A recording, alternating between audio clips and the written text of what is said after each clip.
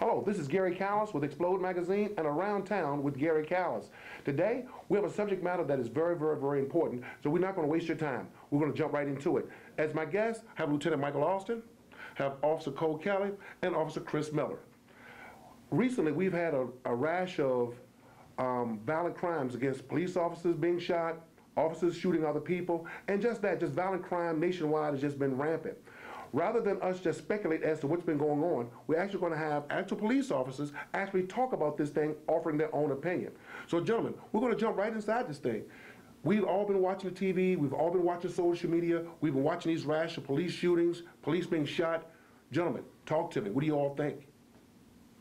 Okay, uh, yeah, nationwide, we have seen a spike in officer-involved shootings, uh, two to be recent uh, in Louisiana and Minnesota. Uh, Just looking at those situations that have occurred, we want to, you know, make sure that we educate the public on what should happen when they encounter the police in a traffic stop or a consensual encounter on a call, uh, such as Louisiana. That was a call for service while those officers were there, to my understanding. And um, I think if we talk to the public about communicating with the officer, this would help ease some of those things from happening. Uh, So just looking at that particular call, call for service that a male threatened someone with a gun possibly, that is going to put an officer on a level that's higher than normal, just going out driving around in his or her car. Uh, We know it's a weapon involved based on the call for service. So uh, from the public side, if you know you're involved in a call with a weapon, you probably want to make sure the police can see your hands. That's critical. Uh, I think as an officer, that's what I want to see right off the bat, your hands.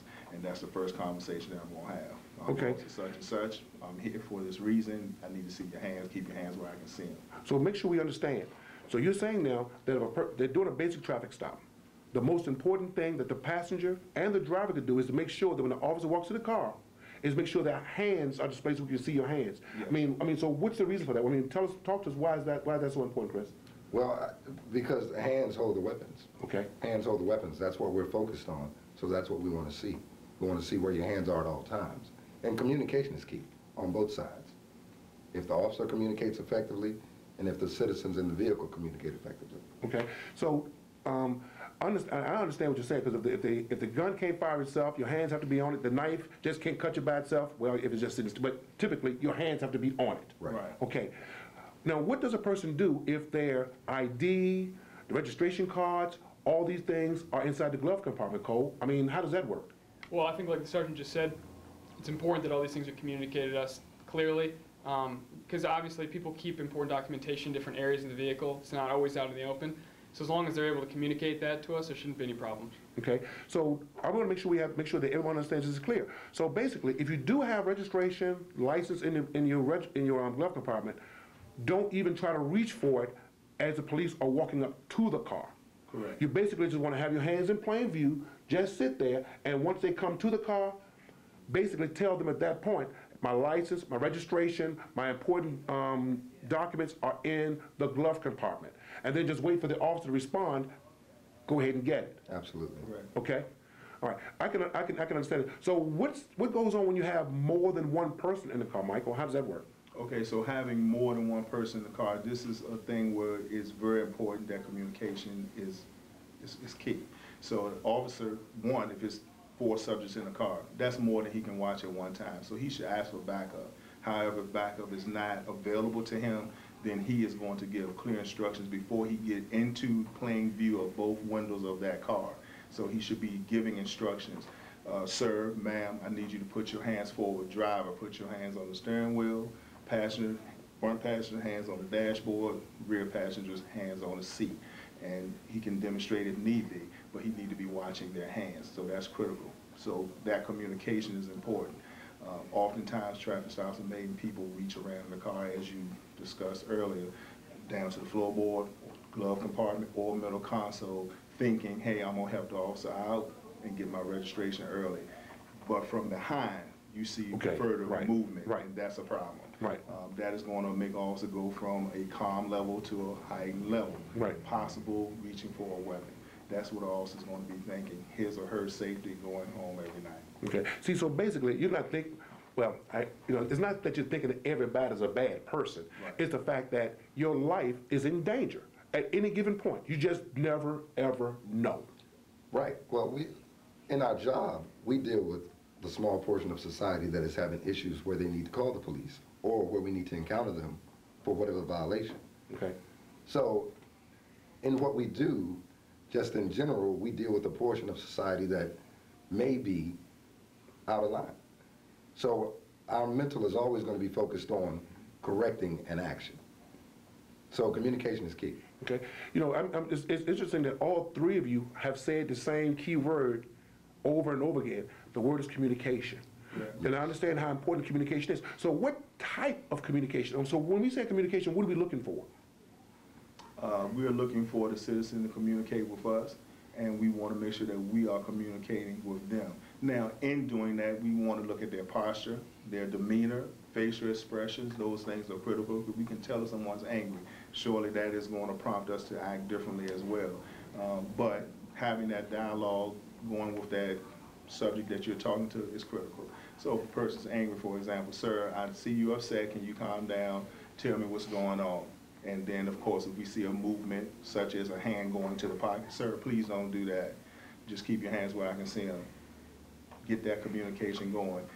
He or she will probably respond back, but you should be watching their hands the whole time you're having that conversation. Okay, and believe me, since I've been sitting here watching y'all, I've been watching y'all's hands too.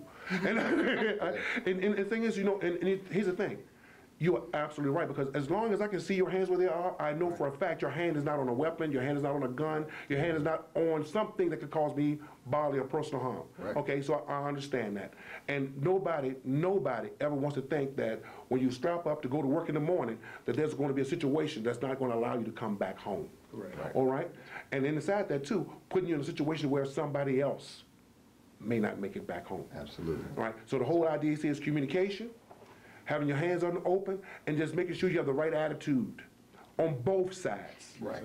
okay? All right. Now, the other thing we're going to talk about just a little bit is about this spike in crime we've had in Richmond. So what's going on with that, fellas? Well, crime moves in trends. Okay? anyway. So you'll have a period where crime is heightened, and you'll have a period where crime is lowered. You know, the police department, we're gonna do what we do all the time anyway. So we have our initiatives that we do with the community, we have initiatives that we do to enforce crime.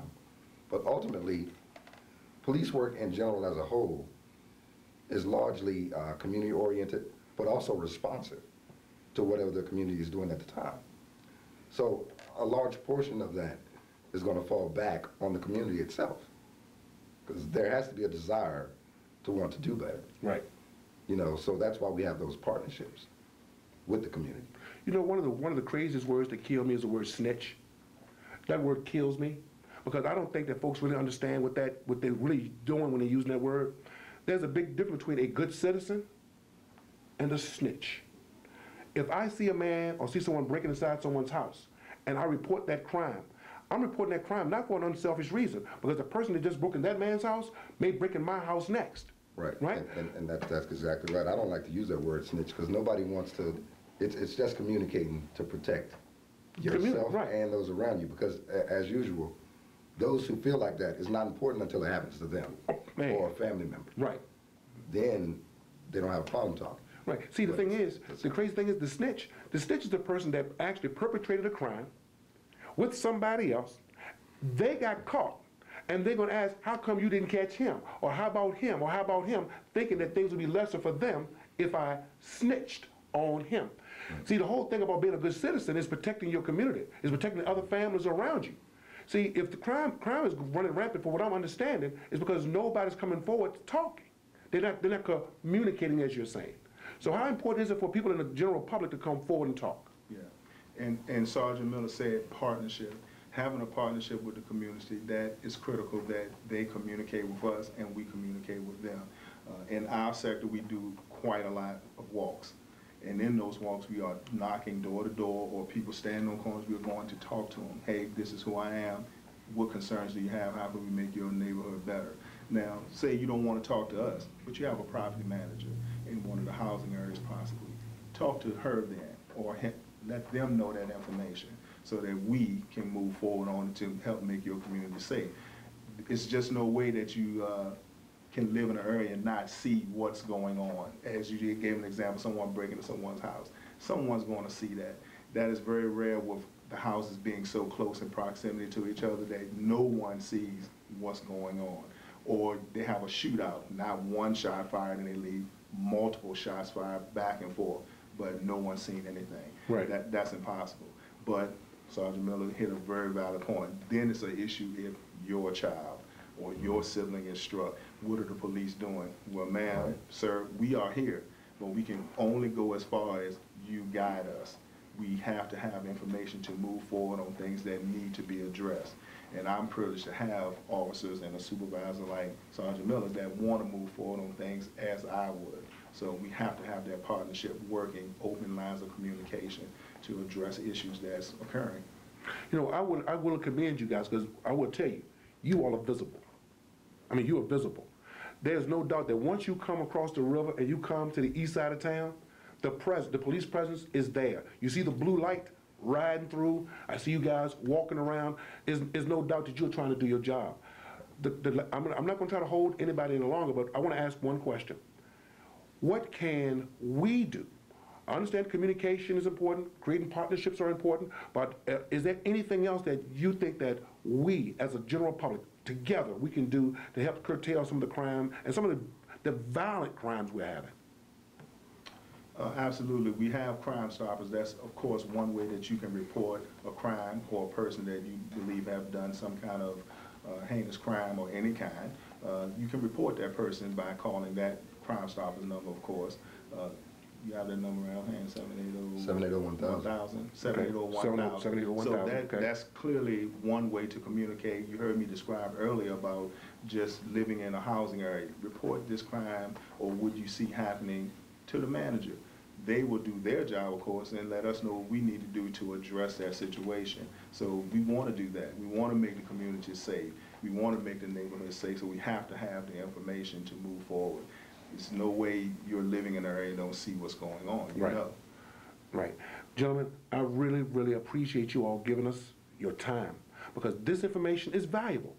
People are losing their lives on both sides, from the police side and from the public side, again, because of lack of knowledge. A lot of times what you're saying too, because of lack of effective communication. So that is something we all need to work on to make sure that we can make our streets safe for both our police officers and for our families. Again, I want to thank you all for coming.